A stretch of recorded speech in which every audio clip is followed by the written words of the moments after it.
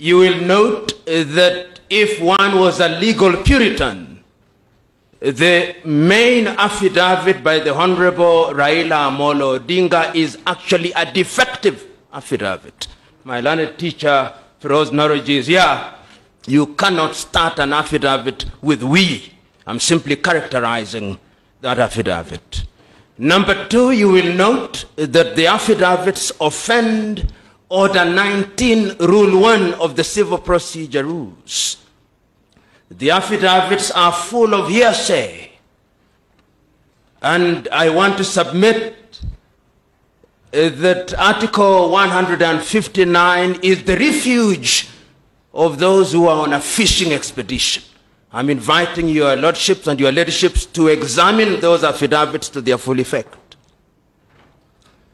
So that your lordships and your ladyship, that is what animated this case, and that is the reason why the pleadings are the way they are.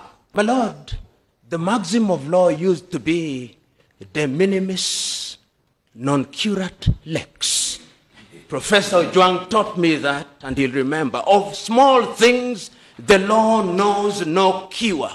And I'm submitting to us that what we have here are petty grievances, administrative errors, and no court in the world has ever nullified a presidential election on the basis of what falls under the de minimis rule.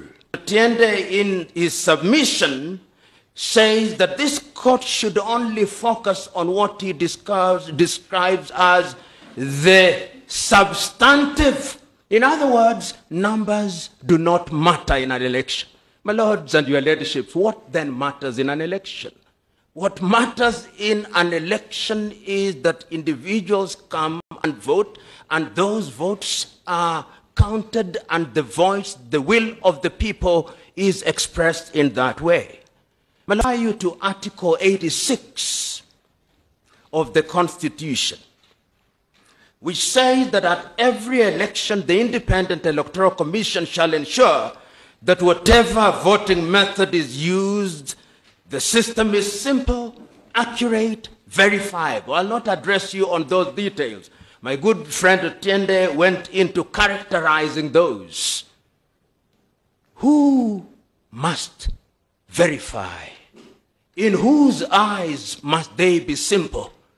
Madan CJ, CJ, as he then was in the case of Stanley Munga Githunguri, said, the test is the man in the Pangani bus, the ordinary man. What you are shown here, complete with Pythagoras' theorem, to tell us what the voting went, that is not what the test of the election is. The test is very simple. And we have demonstrated through our affidavits that are on record, which I invite you to look at to their full effect. Then the burden shifts.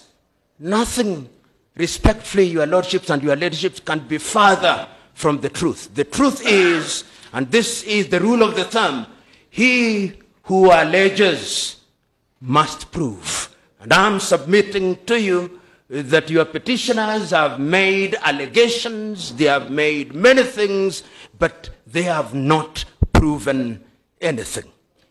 In totality, what you have is a litany of allegations that are literally standing on stilts and have only one fate. They fall when they have been faced by the weight of evidence that we have supplied that in this petition, what we are grappling with is that the people of Kenya, in their totality, came out on the 8th day of August and expressed their will. This court should be very reluctant to overturn the will of the people of Kenya unless it can be demonstrated that indeed that will was subverted. And it has been demonstrated by the first respondent and of the second respond, the first and the second respondent, that indeed all the prescriptions of the law, and this, my Lord, when you retire, I do not want to belabor this issue. When you retire, the question that I invite you respectfully to ask what is the litmus test? And, my Lords, when you look at our list of authorities, which has a number of authorities which I'll not take you through. It was filed on the 25th day of August, the year 2017, with a total of 30 authorities. The first authority is the Constitution.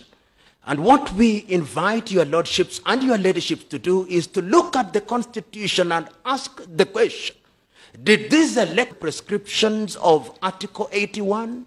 And in my respectful submission, it did. Did it satisfy the prescriptions of Article 86? And in my respectful submission, it did.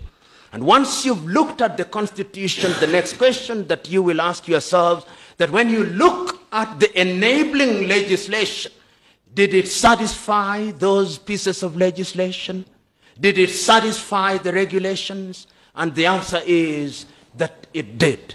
And when you arrive at that finding, the only decision that I invite you to arrive at is that the people of the Republic of Kenya on the 8th day of August did express their will, and the first and second respondent did midwife.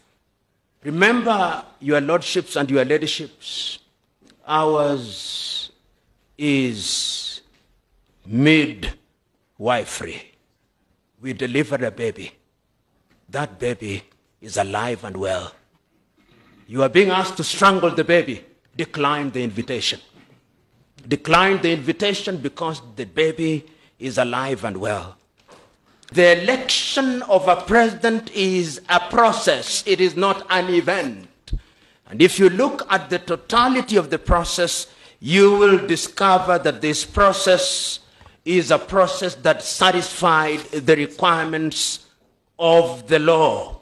And we have demonstrated at the point of identification, at the point of uh, result, the point of counting, the forms 34, forms 34A, B, C, and D, up to the transmission, and we have demonstrated beyond peradventure that indeed this was an election that complied with the law. Your petitioners, through their agency, one fate, the fate of dismissal. But there are two things I want to say before I sit down.